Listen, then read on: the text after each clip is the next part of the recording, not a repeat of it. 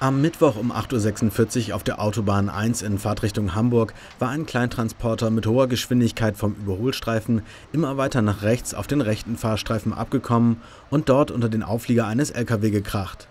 Der Unfall ereignete sich in Höhe der Holscher Holzbrücke, wenige hundert Meter östlich der A1-Abfahrt Wildeshausen Nord. Warum der Fahrer des Transporters immer weiter nach rechts kam, sei bislang nicht geklärt, sagte Matthias Büssing, Dienstschichtleiter der Autobahnpolizei Aalhorn. Beide Insassen des Transporters mit Borkener Kennzeichen seien in dem Fahrzeug eingeklemmt worden. Fast eine Stunde habe die alarmierte Feuerwehr aus Wildeshausen gebraucht, um sie zu befreien.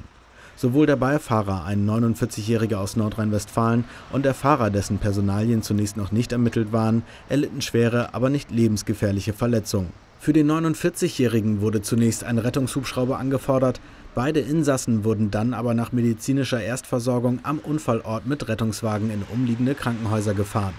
Der Fahrer des LKW, ein 40-Jähriger aus der Ukraine, blieb unverletzt. Wegen des Unfalls wurde die Autobahn Richtungsfahrbahn Hamburg ab der Anschlussstelle Wildeshausen Nord gesperrt. Sowohl der Transporter als auch der Sattelzug mussten abgeschleppt werden, sodass die Autobahn erst am späten Vormittag wieder befahrbar war. Den entstandenen Sachschaden schätzte Büssing auf etwa 25.000 Euro.